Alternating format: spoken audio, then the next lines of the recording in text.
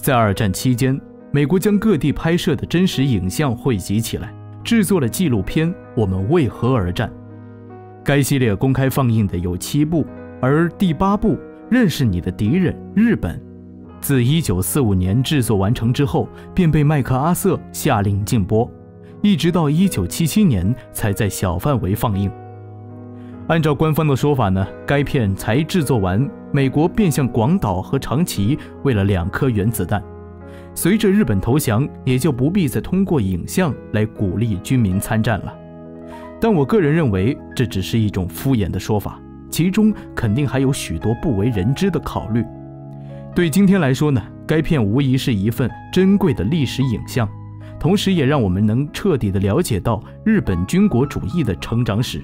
以及侵华战争的前后始末根本原因，而该片的影像来源复杂，亮度对比度并不统一，看起来一会儿黑一会儿白，所以我们花了大量时间将原片的六百多个镜头全部剪出来，再一个个单独调整，最后又用 AI 软件进行了高清彩色修复。相比起旧版解说，本期在画面观感上有了很大提升，文案方面也进行了相应的修改和完善。现在，让我们先随着镜头来看看典型的日本士兵，他们的平均体重只有五十三公斤，身高呢则在一米六左右，但携带的弹药补给却在二十七公斤以上，超过了体重的一半。对比当时的西方军队，日军的装备老旧过时，训练的方法呢也不够专业，但他们的忍耐力却非同寻常，几乎能像机器一样翻山越岭、趟水过河。而更可怕的是，日军一旦上了战场，便跟疯子一样往前冲，根本不怕死，甚至常常发动自杀式的进攻，因为他们满脑子都是效忠天皇，认为死在战场上就是一种无上的光荣，包括妻儿老小也不会为此伤心落泪，反而还把他们的骨灰视为一种骄傲。或许今天看来这是一种非常荒谬的行为，但如果你了解日本历史的话，便会明白日本人为何对天皇会有这样一种狂热的崇拜和信仰了。首先，按照日本的神话传说，初代天皇神武在上古时代统一了日本列岛，将其治理成了一个繁荣的王国。他自称是天照大神的后代，和所有普通百姓的血脉都是相互关联的。也就是说，所有的日本人都是一体的，都是神的后代，他们流淌着是比其他民族更为高贵的血液。而日本地少人多，地震频发，极度匮乏的资源，使得他们自古以来便有着开疆扩土的欲望和野心。当时神武天皇就说过这样一句话，叫“兼六合以开都，演八鸿而为羽，不亦可乎”，简称为八鸿一羽。意思是呢，就要以日本为中心，把全世界统一到一个屋檐下。这句话可谓奠定了日本征服世界的思想基础。虽然神武天皇只是一个神话故事，但日本的男女老少呢都相信是真的，并据此衍生出了神道教，将这些观念呢进一步的具体化。同时，他们还拔高了天皇的地位，认为他就是活着的神。有着至高无上的权力和地位。之后，随着神道教逐渐发展成日本的主流宗教，天皇至上也成为了日本人根深蒂固的思想观念。不过，早期的天皇并没有太多实权，整个日本岛实际上是由不同的诸侯所统治的。为了维护势力和争夺领地呢，他们用钱雇养了一批由武士组成的私人军队。比起普通百姓，这些武士的社会地位要更高，而且还拥有携带武器的特权。他们甚至能随意砍掉平民的耳朵、手臂和头颅。当然，这样做并不是因为双方有什么深仇大恨，而只是为了娱乐或练习剑道。久而久之，武士们为自己发明了一套特定的规则，将之称其为武士道。这个所谓的武士道呢，宣扬了对君主要有绝对的忠诚，在战斗中要勇往直前，视死如归。不过，在实际的技术操作中呢，武士都是趁虚而入，比如全副武装的去偷袭一个手无寸铁的人，或者成群结队的去围攻一个落单的人。像后来在甲午海战、日俄战争、九一八事变、珍珠港事件中，日本无一例外都是以偷袭取胜的。所以武士道是一门背叛和欺骗的艺术，一门赖子和流氓的艺术，也是日本人真正的生存法则。一五九一年，丰臣秀吉结束了诸侯割据的局面，并以天皇的名义统一了整个日本。至于天皇呢？则作为一个象征傀儡退居到了幕后。此时走上了人生巅峰的丰臣秀吉，认为自己已经有了强大的实力，可以实现祖先八竑一宇的梦想。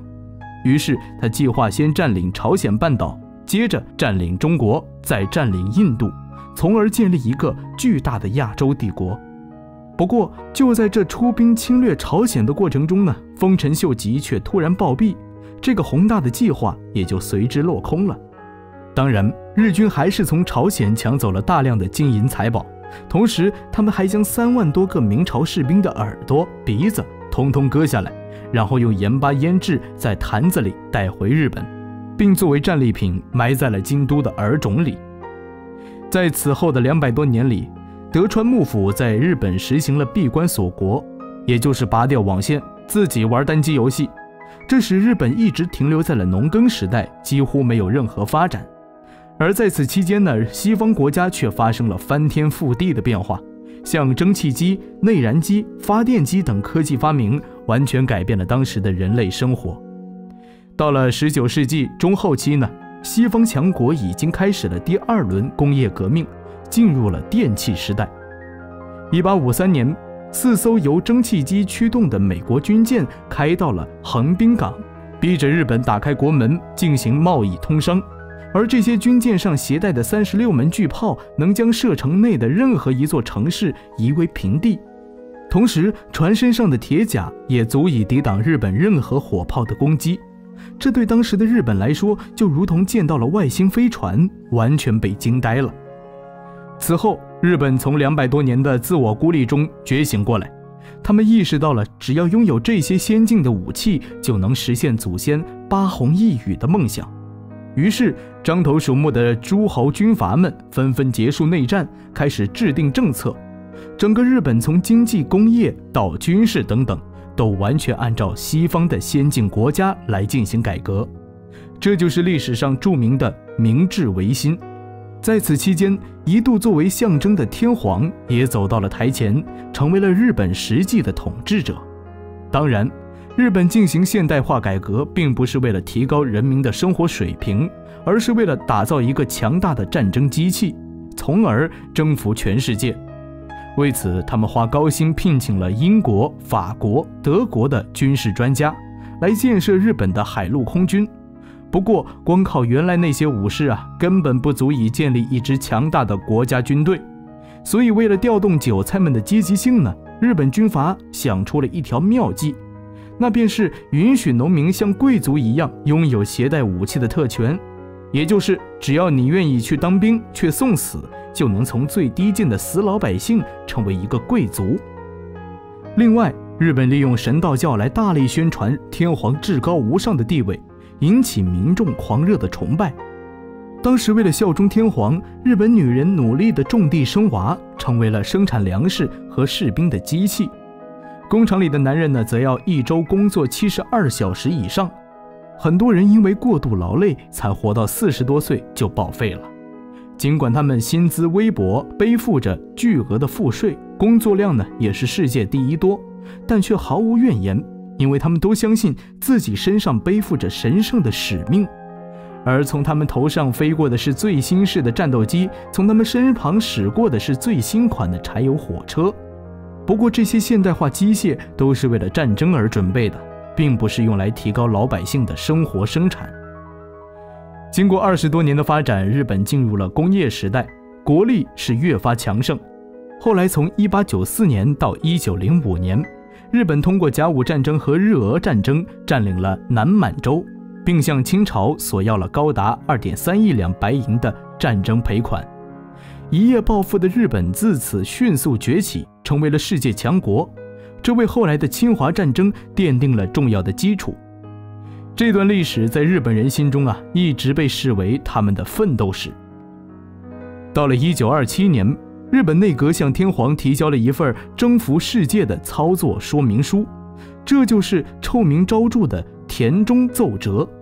这份奏折把征服世界分为了以下几个步骤：首先是征服矿产丰富的满洲地区，并以此为跳板征服中国；接着借着中国庞大的人口和资源，打造一个后方战争基地。然后占领橡胶和石油资源丰富的东南亚地区，继而就可以称霸亚洲。最后呢，再集中所有力量干掉美国。那时西方列强自然就望风而降，祖先八翃一羽的梦想即可实现。当然，要打造这样一个强大的战争机器呢，还需要很多很多的钱。为了筹集资金。许多日本企业凭借着廉价的劳动力，将产品以极低的价格倾销到国外。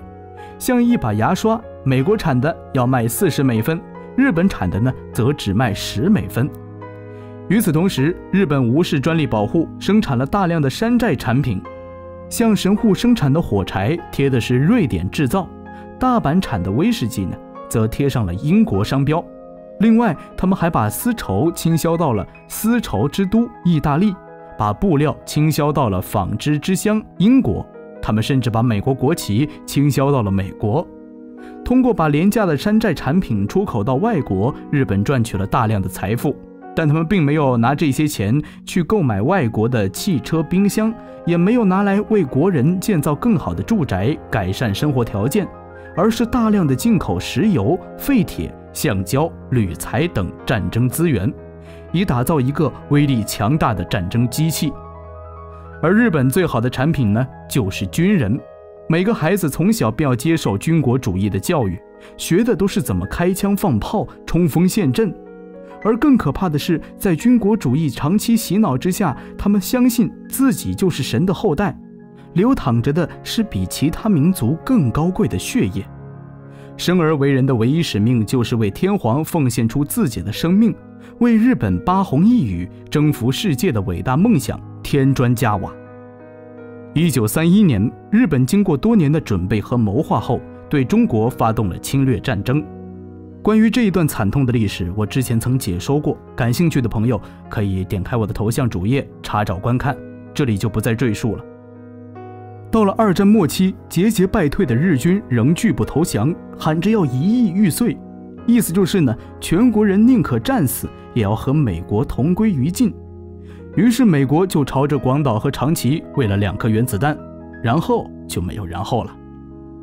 一九四五年，日本投降后，麦克阿瑟认为日本军国主义的根源之一就是神道教。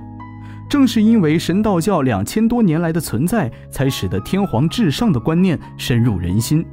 所以，麦克阿瑟下令拆除了日本所有有关于神道教的建筑物、纪念碑，并取消了相关节日。同时，他还让裕仁天皇发布了人间宣言，以告诉全国民众，所谓的天皇只是一个人，一样会吃喝拉撒，而并不是什么神。次年二月。